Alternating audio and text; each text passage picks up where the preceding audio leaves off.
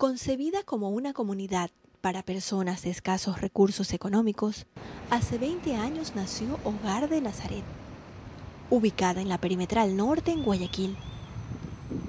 Este 24 de octubre de 2010, las cerca de 200 familias pertenecientes a Hogar de Nazaret celebraron uno de sus más grandes logros, un logro cristalizado gracias al apoyo de un grupo de hermanas de la congregación Bienaventurada Virgen María, dos de las cuales llegaron hace seis años a este rincón empobrecido de nuestro país. Nosotras cuando llegamos aquí, eh, concretamente aquí a esta zona de Hogar Nazaret, veíamos que no encontrábamos la forma de, de insertarnos entre la gente.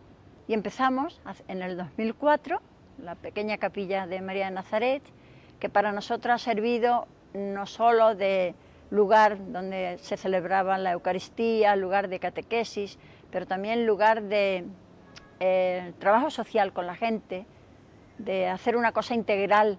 Con esta construcción, ¿verdad? Pues las personas del sector, una de las cosas que dicen que es una capilla precisamente eh, muy bonita y es, está eh, en un lugar pobre, ¿verdad? Que este tipo de capilla no se encuentra precisamente fácilmente en, en un lugar como este. La construcción del Templo María de Nazaret representa el trabajo en conjunto entre la comunidad y la iglesia y la consecución de un sueño que albergaban desde hace años. Se va a enorgullecer mucho más la comunidad. Antes teníamos una capilla pequeña en la cual este, se sintió ya un poco incómodo. Me he sorprendido muchísimo porque yo pensaba que me iba a morir y nunca iba a ver a la iglesia aquí en la, en la comunidad. Pero ahora parece que se ha, se ha hecho de veramente realidad. Que sí he visto y ahora puedo morir tranquila con la comunidad, en la iglesia que se va a inaugurar hoy día. Veo una comunidad muy viva, una comunidad muy joven. Creo que el, el, el, núcleo de la capilla ha sido muy importante para, para atraer y para, para mm, convocar a la gente. Todos nosotros desde la profesión que tengamos debemos de poner eh, nuestro esfuerzo para una sociedad mejor. Yo creo que eh, una iglesia, además de acercar a las personas a Dios, eh, es importante para hacer mejores comunidades. Antes de esta hermosa edificación, la comunidad se reunía en una pequeña capilla, la cual resultaba estrecha para los numerosos feligreses. El nacimiento de este nuevo templo de Dios llena de beneplácito a los comuneros, que vivieron intensamente la celebración de la primera Eucaristía, la que contó con la presencia del máximo representante de la Iglesia Católica en Guayaquil, Monseñor Antonio Arregui Yarza. Siempre es una satisfacción muy grande el iniciar un nuevo lugar de culto y de reunión de la comunidad cristiana. Esta hermosa capilla seguramente traerá consigo mucha luz y mucha gracia de Dios para tantísima gente. Esperamos que esto sirva como centro para acoger a, a la gente y crezcamos cada vez más.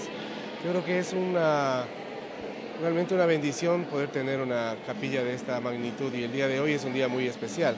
Realmente es una felicidad enorme, no hay palabras para explicarlo, porque era la que teníamos una capilla muy pequeña, pero muy sencilla, pero acogedora a la vez.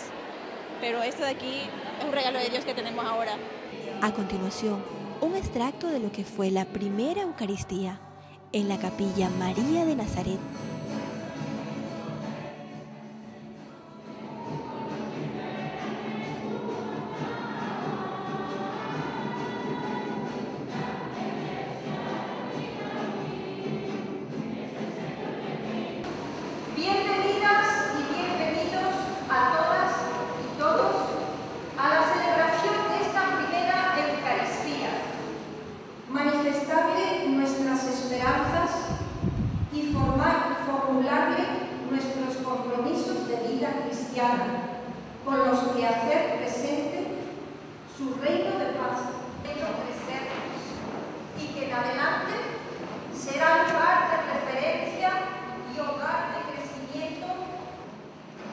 Al hermano Roberto, de Hogar de Cristo, de regreso ya en España, que puso todo su empeño e interés en llevar este proyecto adelante. De manera especial, damos las gracias al Padre